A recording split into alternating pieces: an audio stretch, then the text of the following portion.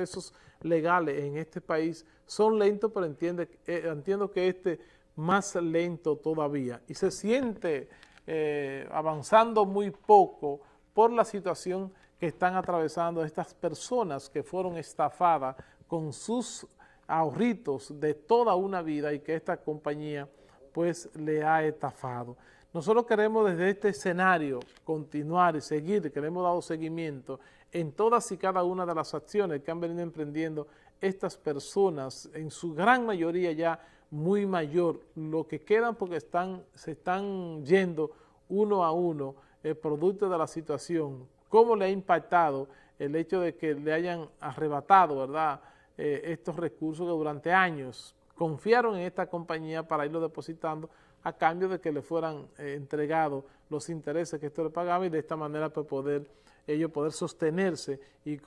comprar eh, por lo menos los medicamentos y de esta manera pues poder, qué sé yo, eh, seguir sobreviviendo. Nosotros desde aquí insistimos que a esta situación hay que prestarle atención. Nosotros hemos dicho que nuestras autoridades locales, municipales, ¿verdad?, provinciales y a nivel nacional pues deben expresarse deben gestionar, deben acelerar este proceso para que estos recursos les sean devueltos. Esos procesos legales que, duran eternidades, yo creo que este, eh, por lo que se ve, es un caso parecido. Ahí ven ustedes una cantidad significativa de personas que asistieron en el día de ayer aquí salida a Santo Domingo en la avenida en el parquecito aquí de los mártires de San Francisco de Macorís que se concentraron. Usted diría, bueno, debieran ser más, sí, eso es correcto. Lo que pasa es que hasta las condiciones físicas y de edad y de salud no le permiten que la avenida se replete de personas, porque eso es una muestra. Eso que están ahí pudiesen ser tal vez las personas eh, que, pudieran, que pueden movilizarse y llegar hasta ahí. Y ustedes ven la, edad eh, que oscilan las personas que asistieron a, este, a,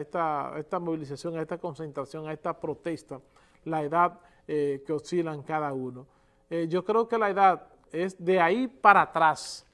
o, de ahí para adelante, o sea, porque son personas muy mayores, con toda la intención, el deseo, ¿verdad?, de poder asistir y sus razones de salud y sus razones de edad no le permiten. De manera que desde aquí nosotros vamos a seguir implorando, implorándole a las autoridades para que por favor intervenga agilice ese proceso para que esas personas puedan, eh,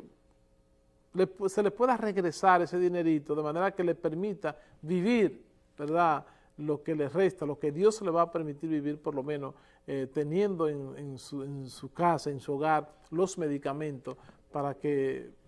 cuando le llegue el momento sea menos tedioso y puedan mínimamente comer con, esto, con este dinero que le han estafado, que ha estafado esta eh, compañía eh, que funciona aquí en San Francisco de Macorís y es la empresa Monet. Así que vamos a ver si esta situación se acelera, se reactiva, porque estamos 100% de acuerdo que estas protestas van a seguir. Ojalá, ojalá que el clamor de esta persona tal vez que no tienen quien les oiga, pues pueda llegar hasta los oídos de los responsables de agilizar este proceso y sobre todo a esa familia que ha estafado a estos cientos y cientos de familias de aquí, de San Francisco de Macorís y toda la zona. Miren, hablando de estafa, hablando de estafa, este es un país que no sale de una. En el día de